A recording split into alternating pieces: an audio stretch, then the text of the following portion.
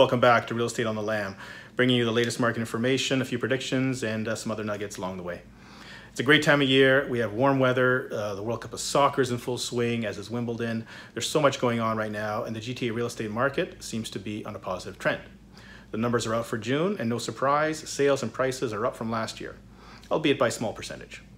One year ago, the market was trending downward, while this year we are seeing month over month increases in both sales and prices. This will likely continue, and we will probably have a busier than usual summer and a very active fall. So let's take a closer look at these numbers.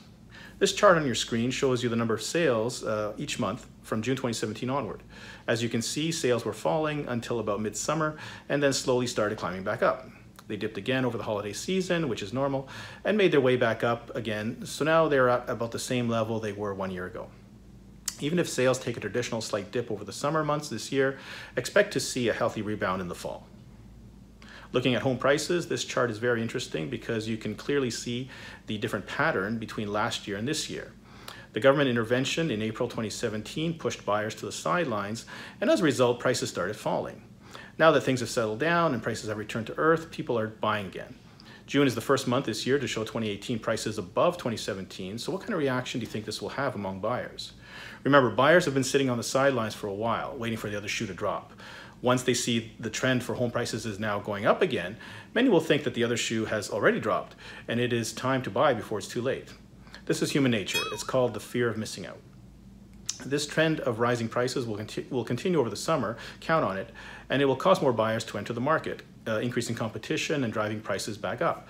This is why I'm predicting a good fall season for sellers. This last chart also confirms the trend of prices going up. In real estate, we use a stat called months of inventory. It has an inverse relationship to prices, which means if the months of inventory is going down, the prices are going up, and vice versa. Months of inventory is calculated by dividing the number of listings by the number of sales. And you'll see here that the number of listings has flattened uh, in the last month, while sales have gone up slightly, thereby decreasing the months of inventory. Since July and August see fewer listings anyway, this trend will probably continue, and that's another reason why prices should continue to climb.